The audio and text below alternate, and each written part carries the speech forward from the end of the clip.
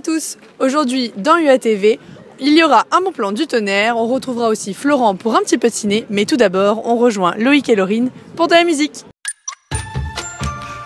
Comme l'été approche, le retour du soleil, des mini-jupes, de la plage, tout ça, tout ça, nous allons parler de bonne humeur. Et j'ai dit Bonne idée Certaines personnes, pour se mettre de bonne humeur, écouteront ça.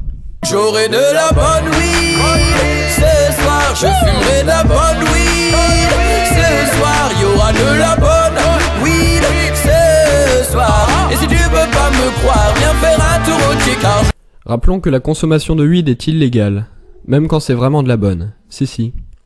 Voici un exemple d'effet secondaire qu'elle peut provoquer. Comme Bérégo voit,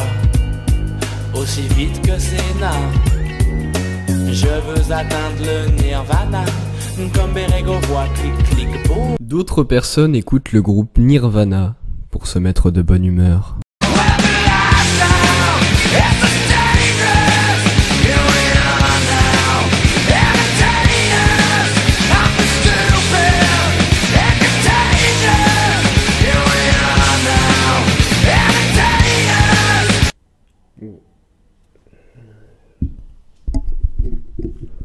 Ma part, j'ai un petit faible pour la chanson du dimanche. On t'a connu, t'étais partant, on t'a connu, t'étais battant, on t'a connu, t'étais rêveur, on t'a connu winner. On t'a connu, t'étais tatoué, on t'a connu, t'étais looké, on t'a connu, t'avais une crête, t'avais un aigle sur la tête. Et depuis t'as perdu la foi. Et depuis t'as perdu tes cheveux. Et depuis t'as perdu tes potes. Mais nous on est là pour dire que t'as pas perdu ta bonne humeur, meur, meur, meur, meur. T'as pas perdu ta bonne humeur, meur, meur, meur. Toujours le roi des déconneurs, meur, meur, meur, meur. T'as pas perdu ta bonne humeur.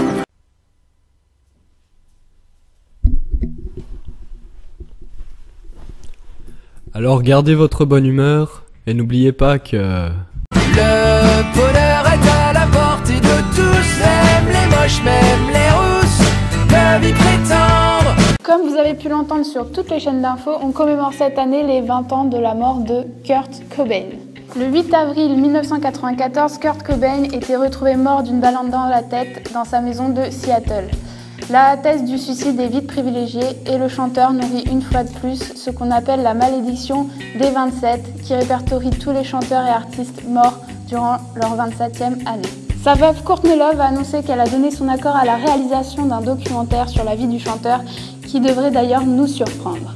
Elle affirme également qu'une comédie musicale sur le chanteur est en bonne voie.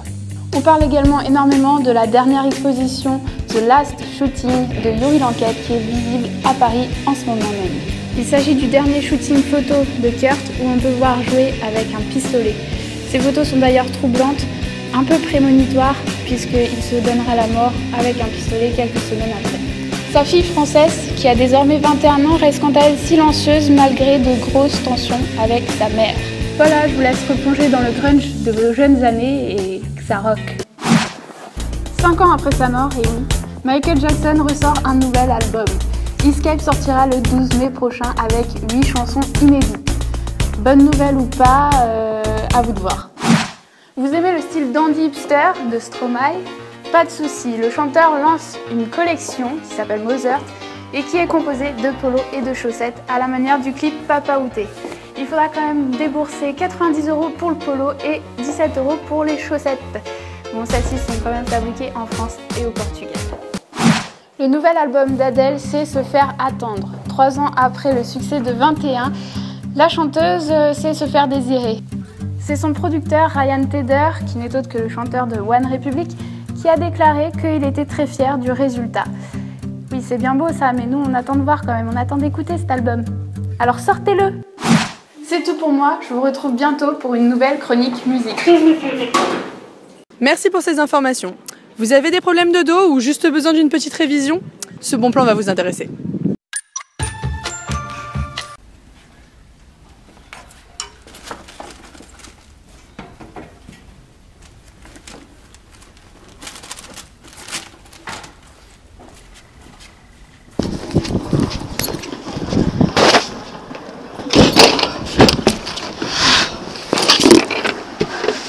Bonjour à toutes et à tous. Je ne sais pas si vous avez remarqué, mais le printemps est là.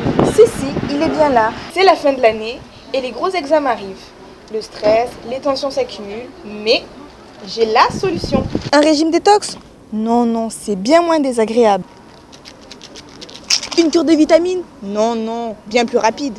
Ce que je vous propose, c'est un rendez-vous chez l'ostéopathe. Une heure pendant laquelle le praticien vous remet littéralement en place, que ce soit les muscles, les tendons, le crâne, tout y passe. Avec ce bon plan, il vous suffit simplement d'un téléphone pour prendre rendez-vous, d'un ticket de bus pour y aller et de deux heures de libre. Et surtout, 0 euros de budget. Oui, oui, 0 euros de budget. En effet, c'est l'école d'Ifoga à Agropark qui propose d'accueillir les étudiants pour ce bon plan. Alors, euh, à l'école, euh, il nous est proposé à tous les étudiants de venir, euh, de venir pour une séance d'ostéopathie. Donc, tous les étudiants d'Avignon sont, sont invités à prendre rendez-vous en appelant directement au numéro de l'école. On leur donnera un, un rendez-vous qui, qui leur permettra d'avoir une, une consultation donc, gratuite pour les étudiants. Euh, c'est euh, c'est tous les jours de la semaine. Euh, ils peuvent venir si jamais ils veulent faire tout simplement un bilan ostéopathique ou alors pour un problème qu'ils ont envie de diagnostiquer. Les étudiants sont là pour, pour les traiter et ils sont suppléés de, de tuteurs qui sont donc professionnels. La plupart sont des professeurs, des professeurs de l'école. Et si on rejoignait Florent, je crois qu'il a envie de nous parler de deux réalisateurs.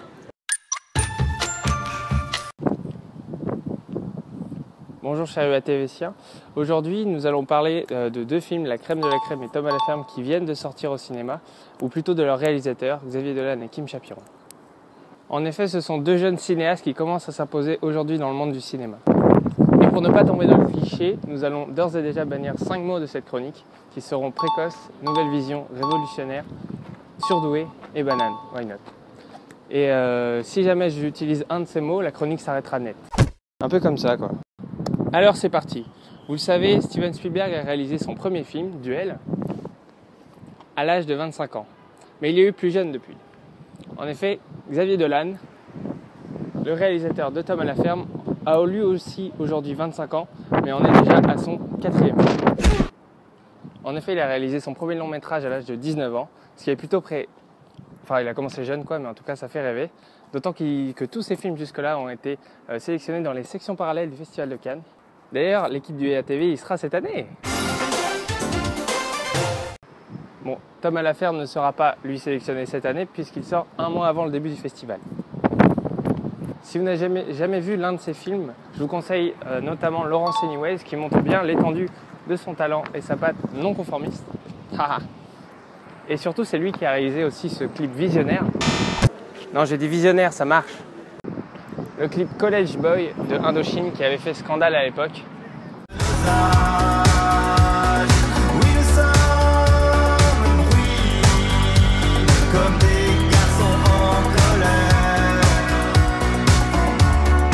Le deuxième réalisateur est Kim Chapiron qui est français. Il a réalisé son premier film à l'âge de 25 ans, à savoir Shaitan. Et euh, son deuxième film en 2009, Dog Pound. Euh, pour finir par La crème de la crème, aujourd'hui en 2014. Un réalisateur assurément à suivre dans le paysage cinématographique français.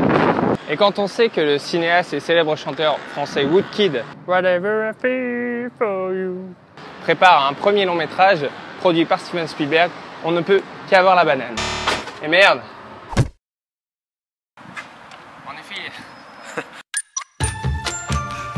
Alors, demain, deux gros événements à l'Université d'Avignon. De midi à 18h, vous pourrez vous inscrire au tournoi de pétanque qui aura lieu donc à l'université organisé par la VUC. Dès 19h30, une soirée organisée par les Cinéphiles et filles en deux parties. Premièrement, une projection au Pâté Cap Sud du film The Rocky Horror Picture Show. Et ensuite, rendez-vous à la salle des fêtes de la mairie d'Avignon pour une soirée déguisée sur le thème du film. Sur ce, on se dit à la semaine prochaine à la même heure. Et pendant que vous partagez l'émission comme des petits fous, moi, je vais piquer une tête. Je crois qu'on va la refaire plein de fois. hein. C'est tout bon.